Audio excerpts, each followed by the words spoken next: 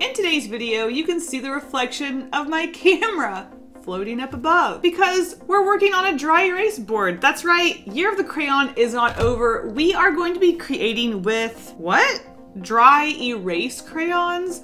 What does that mean? Are they still made out of wax? Are they wet? I don't know. Let's find out. Okay, here we go. Let's unbox these. All right. Uh, okay. We've got our cleaning cloth. Squeak, squeak, squeak. All right, let's see what we've got here. Come on out, y'all, come on out. I'm really interested in swatching these because I just, I don't even know what they're going to feel like. What's gonna happen? We're falling apart over here. All right, here we go. Starting off with, they are unnamed. I'm gonna call this one yellow. Oh, this is going to be some, oh, Oh, mmm, this is gonna be interesting. It feels like I'm using a crayon on a dry erase board. That is very, I don't hate it, but I don't love it. Let's test out this uh, erasing cloth and see what happens. Okay. Oh, this is going to be, okay, well, yeah, it's, it seems to be coming off. Let's just see how much we can erase. Can we erase it all? 100%. Will it stain? Will it leave a residue? Okay, so I definitely sort of see a little bit of yellowing. Here's our rag. I'm curious if it's going to leave like crayon dust like a normal crayon does. I, I don't know, I guess we'll find out. I'm gonna go ahead and swatch all of these, start, starting again with the yellow, and we'll see what everything looks like together. Can we blend? Let's find out. I mean, they're very interesting if for whatever reason you really want crayon-ish texture on a whiteboard for some reason, and also the crayon residue, which is, you know, not exactly the most fun part about a crayon. As usual, I would love to do a few tests, like our blend test. Can we create a nice, smooth rainbow gradient? To be honest, it it does really feel like crayons on a whiteboard, and it's kind of freaking me out because how? Also, why? I still want to do a couple more tests. Our classic, I guess, overlay test. How do they layer? Let's just put a couple of circles down and see how they layer. I think because there's less texture for the crayons to actually hold on to like the paper, it's just a very smooth surface that sort of gets pushed around. There's definitely not as much, I guess, pure layering and mixing as you would normally see with crayons on paper. Do a little scribble like this, a little scribble like this, and a scribble like this. Scribble. Oh!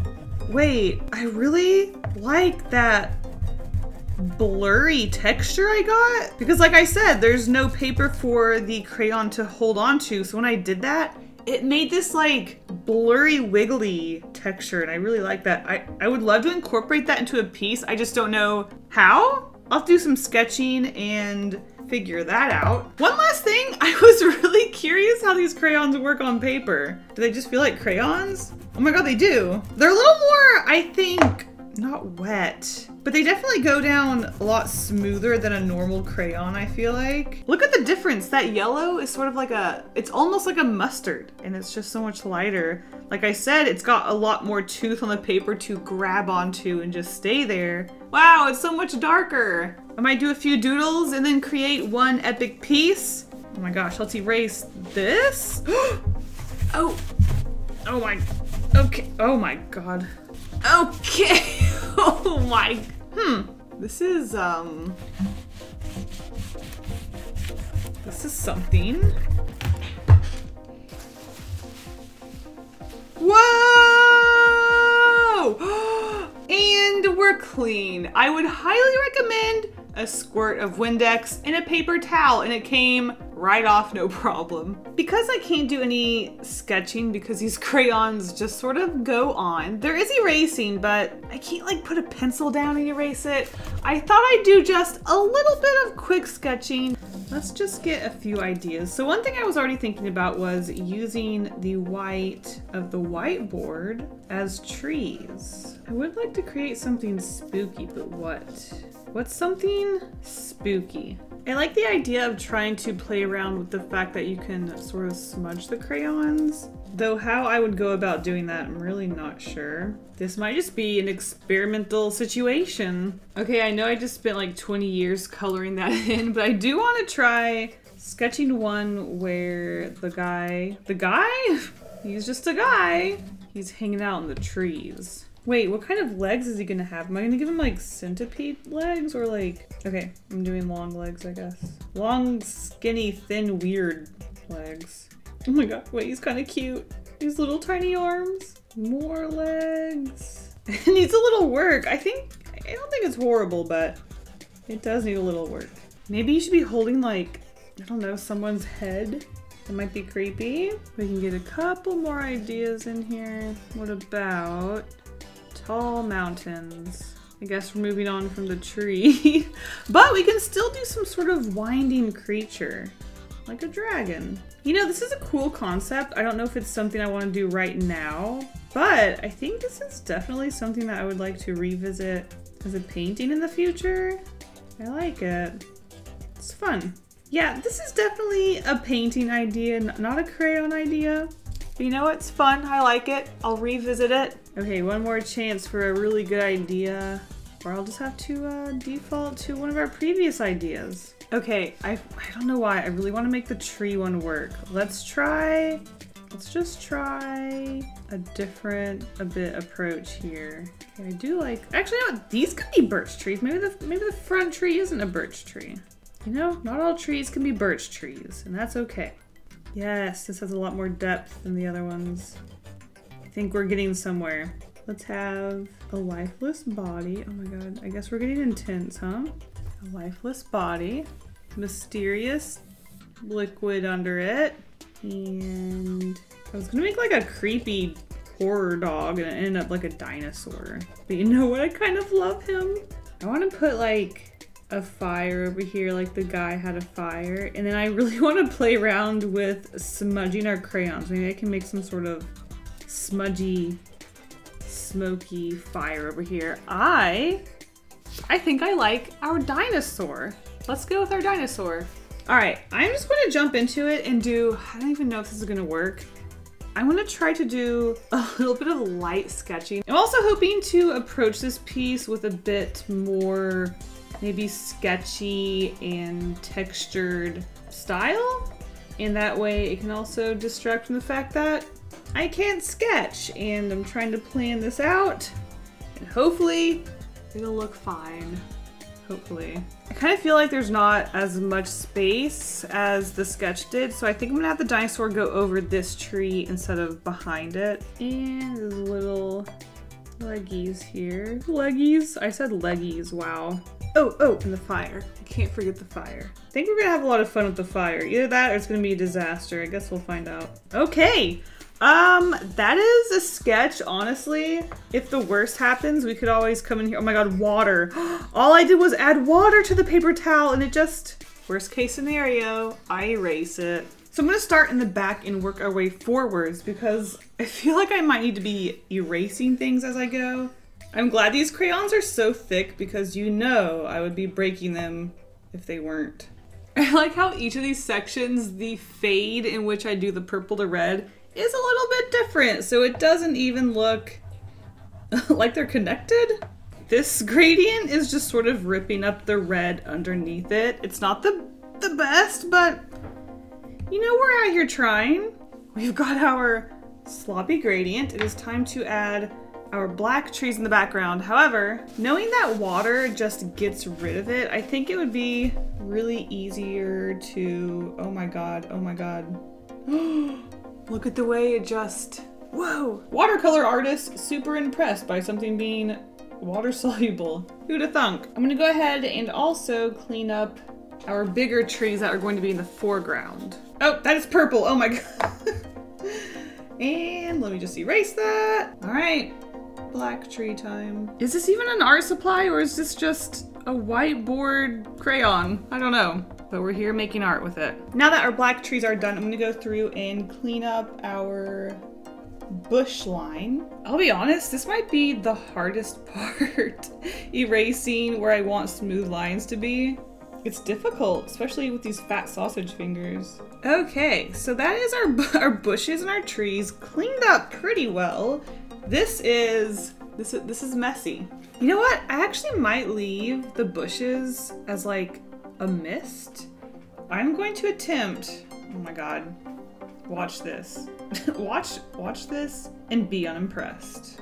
Okay, moving on to our grass, which I guess I am yellow for some reason. Here we go. Just a bunch, just a bunch of grass. We'll see how this goes. But what if I want to, you know, put some orange in there?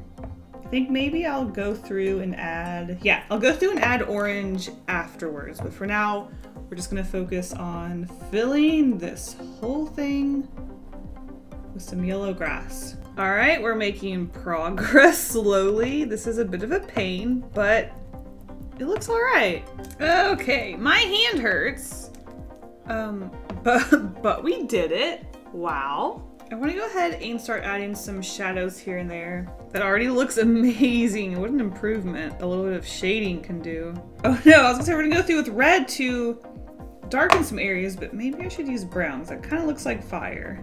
And we are going to have a fire, and I don't want those two elements to get confusing. Wait a second. What if I tried to add like wheat? Would that look good? I want to add our little birch stripes to our trees, but I thought it might be fun to mix in some purple. Just, just to like add some color and variety. I think that would be fun. And on top of the purple, I'll just go in a little bit of black. And I'm also going to add line work to these trees. As much as I do want them to be lineless, I just think there's not enough contrast between the yellow and the white. They need it. Oh, also I guess we need line work where the, uh, the fog is to separate the tree. Right. And realizing that I think I was gonna make this tree a brown tree, but I feel like that might be a bit of a bummer. However, I don't know, should I make it a brown tree? Should I make it a birch tree? Oh no, I don't know. I might have to think about this for a second. Let's move on to our other elements and then I'll make the decision. Okay, we've got our fire here. Let's see. Let's see how this goes. Because these crayons are so good at not layering and just pushing the other crayon, it makes it really easy to layer blades of grass on top of other objects like this. Look at that! It looks like the grass is actually overlapping our log. Pretty nice. Okay, our fire. I'm a little worried about our fire. I was hoping to get some of that smudging effect with it, but we'll, we'll see how this goes. Let's pretend it looks good. Moving on to our orange. our logs disappearing into a brown smudge. oh god, the logs. R.I.P. the logs.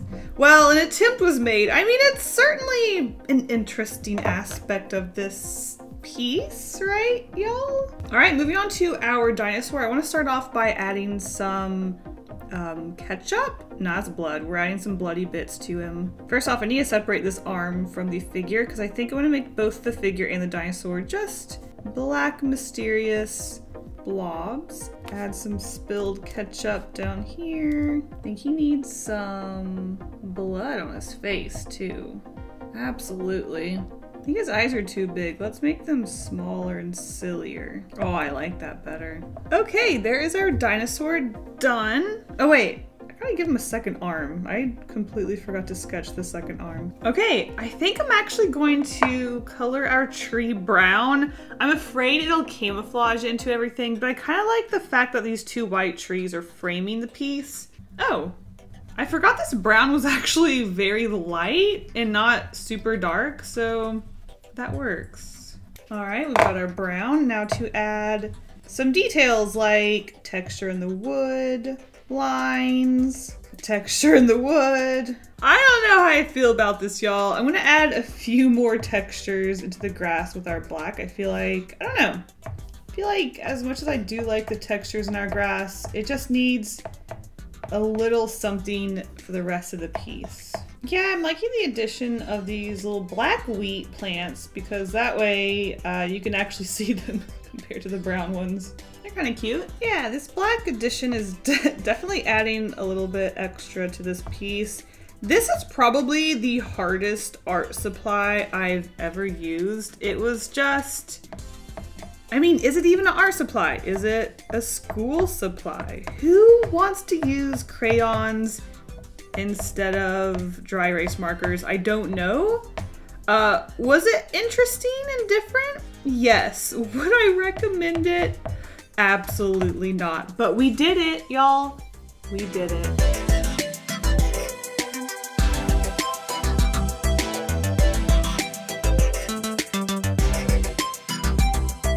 All so, so much for watching this video and a huge thank you to my patrons for their monthly support. You guys are the best. If you want early access to these videos, secret sketches, live streams, and more, check out the link to my Patreon in the description below. Thank you guys all so, so much for your support and I'll see you in the next video. Bye!